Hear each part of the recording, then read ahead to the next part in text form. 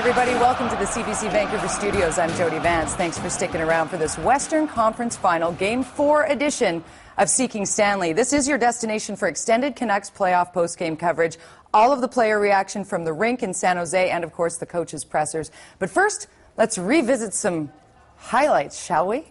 It is a big game, and the fans are out in full force, establishing the tempo early key in this game four.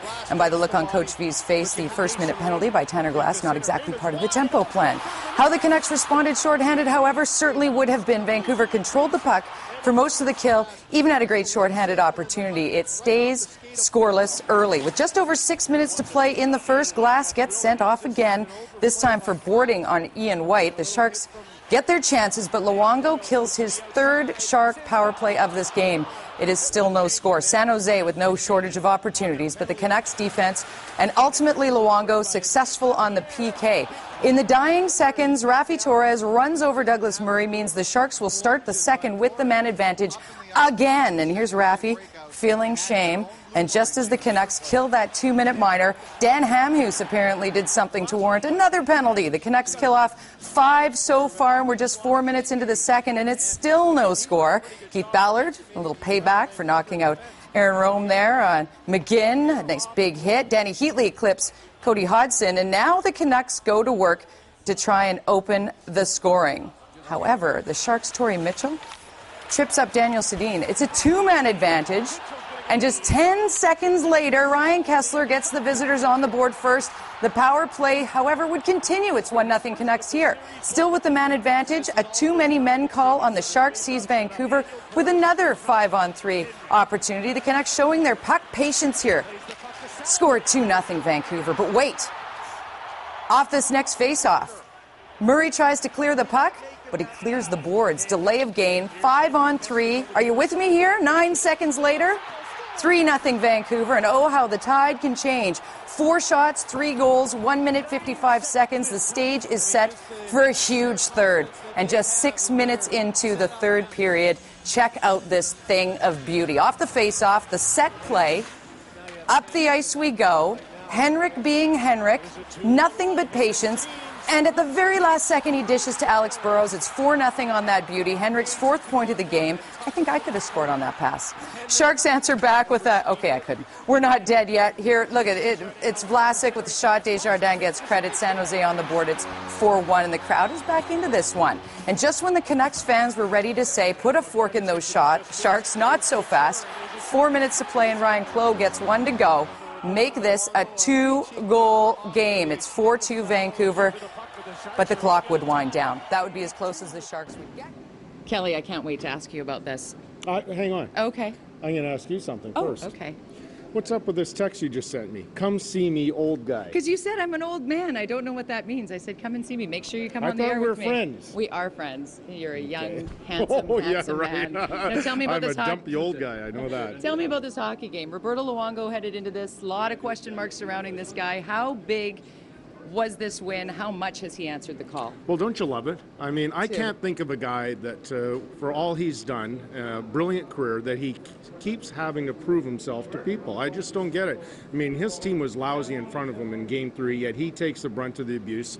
He did let in eight, but I'd say that uh, in large part he had no help on most of the goals. Uh, game four, he wasn't great, but here's a guy that uh, I'm just, I got to tell you, I'm a big fan. And the way that he's able to uh, uh, handle all the stress and playing in a Canadian city and the mental toughness that he must have. I mean, and, and what he's gained though in mental toughness in that Chicago series, that was a uh, an amazing feat, and to, to get over that and convince himself that he's a great goaltender because he is. But you know how self doubt enters in all of our minds, and uh, under this stress, I, I think it's uh, it's just a remarkable feat. How big was it for Coach Alain Vigneault to remove goaltending controversy from this game by saying yesterday, Luongo starts? Yeah, well, I agree. I mean, he's Alain. I think has uh, he reminds me. I hope he takes this as a compliment. I'm sure he would. He reminds me of uh, my first ever coach in the National Hockey League, and that's Al Arbour. He was a legend, right? Al uh, won four uh, cups as a coach and four as a player, and he had the wherewithal always to know when to keep the guys loose, when to get on them. and uh, and when to show support. And I think that he's handled his team, not only the goaltenders, extremely well, but it's a beautiful thing to watch. Do you think anybody on this team is more relieved? Uh, Luongo certainly, Mm-hmm. but Tanner Glass. Oh boy.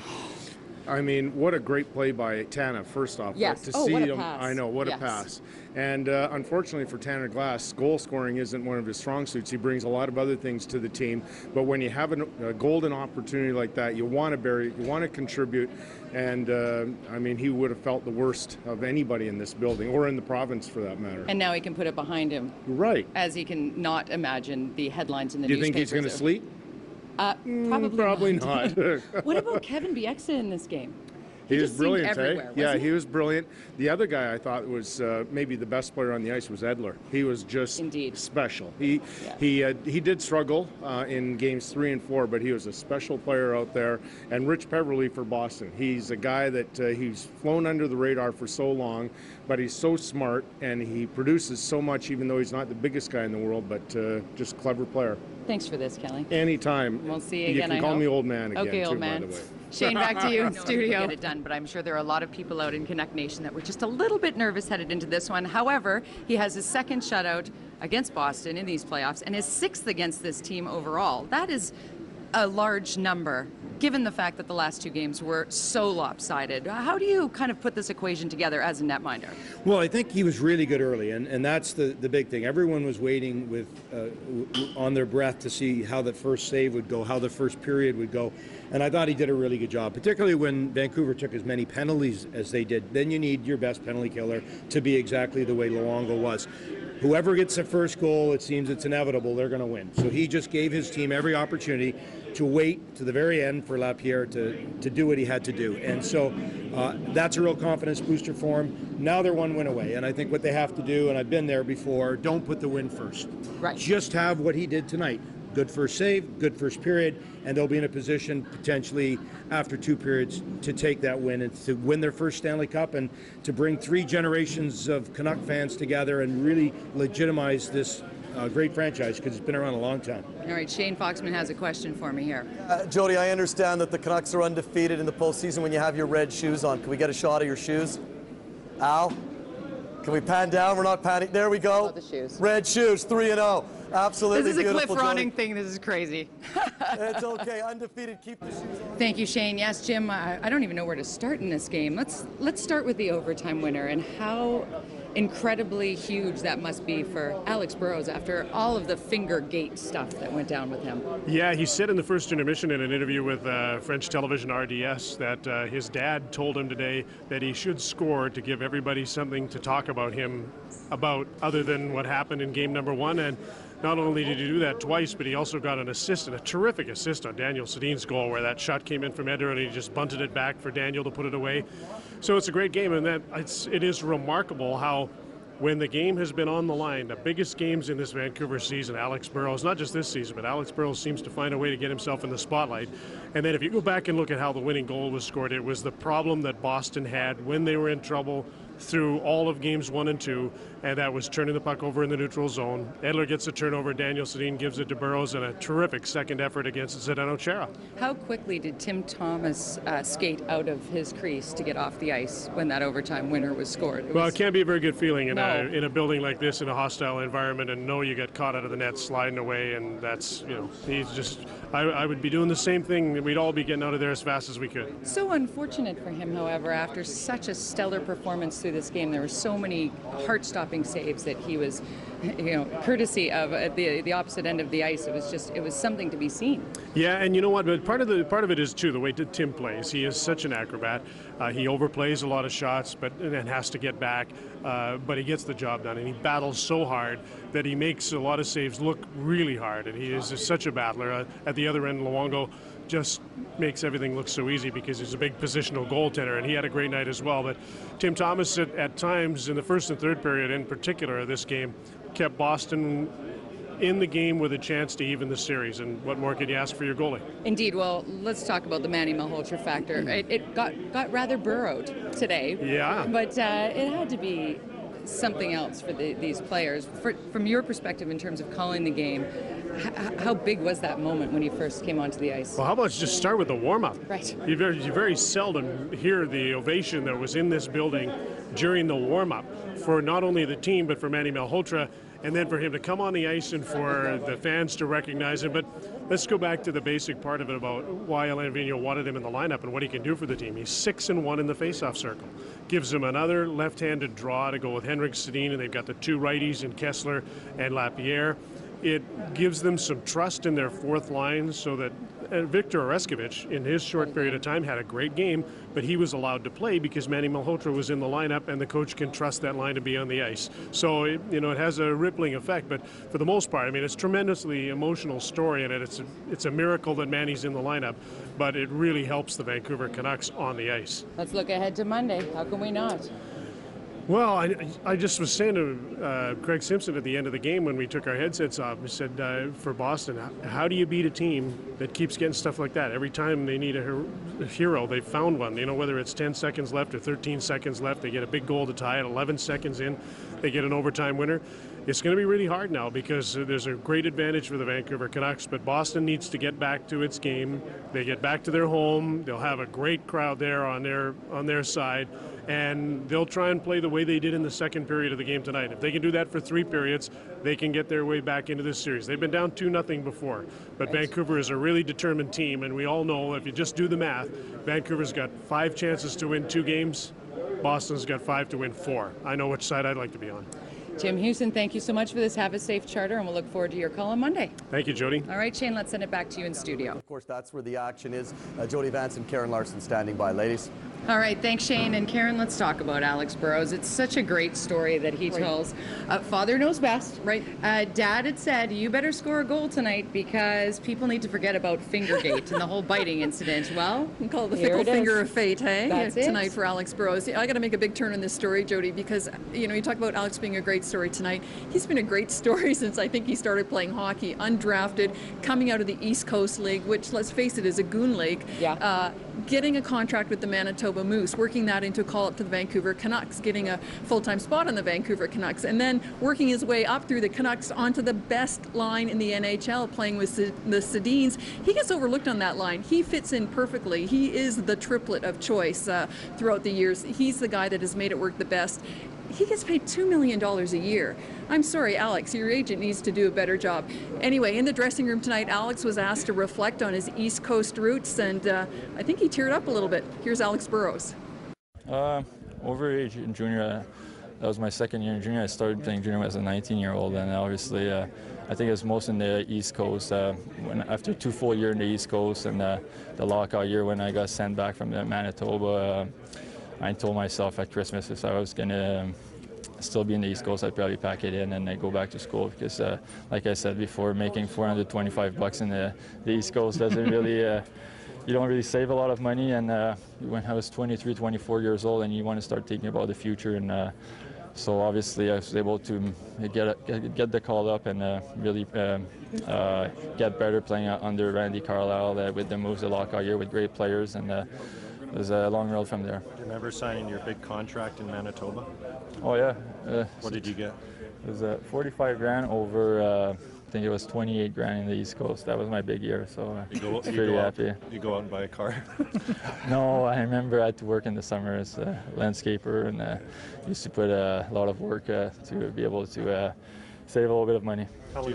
Or you can take Karin's advice, Alex, and get your agent to renegotiate for you. Uh, interesting moment in the Hockey Night in Canada broadcast. We all love Ron MacLean, and he held up that photograph Right. of Marc Crawford on the bench with was it Markus Naslund and Todd Bertuzzi, and then in behind you could see youngsters. Yeah, Alex Burrows and Ryan Kesler Right. in their rookie year. Yeah, and they've come up together and they're good friends. And of course, when you ask Ryan Kesler to talk about Alex Burrows, he's more than happy, especially when it comes to Burrows' penchant for scoring big goals in overtime in the playoffs. Here's Ryan Kesler.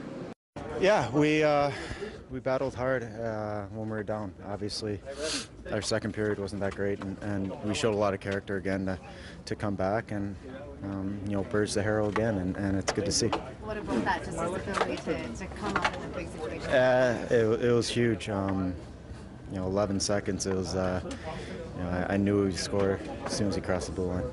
Can you talk Just Elvis's uncanny ability to score those uh, big goals in these playoffs, right? Yeah, he- he's been doing it all playoffs, and, and you know even in years past he's been doing it. So it's uh, you know he has that ability, and it's great to see. You guys have scored some bizarre game-winning goals here. Kevin's in now this one. He outreaches a six-foot nine guy to score on a wraparound. Yeah, just uh, you know his battle level was extremely high tonight, and he he he, he maybe uh, you know outwilled him a bit there, and, and you know I don't even know how he scored, but he did. What did it mean to you when Manny stepped on the ice and the reaction he got tonight? It was pretty special to hear. Um, obviously, he's a big part of this team. We care about him a lot, and you know it was it was huge for, for him and, and huge for us to see him to be able to play, and, and you know the, the fans were amazing for him tonight. Six and one. Certainly huge for everyone on the ice tonight wearing blue. Uh, let's send it back to Shane. We'll have more from the rink in just a few minutes. Uh, we want to get more player reaction. Uh, Jody Vance and Karin Larsen uh, standing by, it. and all of a sudden, very quiet Rogers Arena. Well, we just had Manny Malhotra walk by and uh, give us a wink and a nod and a smile. He's obviously having a very fun evening as the Vancouver Canucks get set for their charter to Boston for the all-important Game 3. The Vancouver Canucks certainly uh, getting what they wanted tonight, but Milan Lucic of the Boston Bruins had the opportunity to interview him back in Toronto uh, early in his tenure with the Bruins. And here's a guy who never forgets his roots. He's very humble, he's, he's very kind, he speaks so fondly of his home, and it must have meant so much for him tonight to get that goal. I love it. I mean, this is the mother in me coming out, but when you see his parents and his brother cheering in the stands, it's just one of those great moments, even if you're a Canuck fan, because exactly right what you say about Milan, you just can't help but love this kid. You Right. know, he, he really is very proud to come from this area. Of course, uh, he hopes his team would have done better, uh, going back to Boston now, down 2 nothing in the series. Anyway, let's hear what uh, Milan had to say after the game. It was just uh, we were trying to just do a quick up play, and they they uh, were able to turn it around. Yes, like you said, quickly, and obviously it's you know unfortunate for us that it happened the way that it happened, but you know uh, it sucks right now. But you know I think we can't we can't dwell on it too much. We we gotta you know look forward to what we need to do to get ourselves back in the series. You did do some things tonight, uh, like I mean, for instance, your goal, net front presence, you scored on the power play. Not suggesting a moral victory, but I mean, if like these little bits go into uh, getting back to the series, you pat yourself on the back for those points. Yeah, it's uh, you know it was nice to to get a couple tonight and and not be you know shut out like like we were last game and you know uh, we talked about it going all the way back to the first series. You know uh, a lot of goals are scored in front of the net and you got to create that net front presence and it was it was much better today and I think that's why uh, we were able to get two goals today. Does it bother you that the guy that scores two goals and has an assist is the guy that, that was chomping down on Patrice Bergeron's finger? Um, it's, it's tough. Uh, you know, obviously, uh, we're not a team that's gonna cry about what happened, but you know, it is what it is. Is what it is, and it's a tough pill to swallow, I'm sure, for the Boston Bruins, particularly when it is Alex Burrows getting two goals and an assist in Mhm. this game, and perhaps some of them thinking that Alex Burrows shouldn't even be on the ice tonight. Well, that was an angle the Boston media was really going after in the dressing room, Jody. You know, if the Canucks' uh, playoff mantra is one game at a time, the Bruins, to their credit, their playoff mantra is we're moving on. And uh, anyway, uh, Brad Ference was one of the guys asked about, you know, should Burrows have even been playing tonight after chomping down on Patrice Bergeron's fingers uh, in the last game. And here's what Ference had to say. Well, NHL made its decision, so you know you live with it. You don't whine about it, feel sorry for it for yourselves. I mean, you know, he bit Bergie. I mean, his, his finger's bleeding, but you know, obviously, if they can't uh, have conclusive, uh, you know, evidence, then that's uh, that's the NHL's decision. It's, you know, you got to live with it. So you know, nobody's here complaining about it. Yeah, and they can't complain about it now. It's uh, it's done. It's why they play the games, and it's why you wait until that final horn before you celebrate, or in this case, the overtime winner so early in the extra frame. Let's go back to the studio now and Shane. Uh,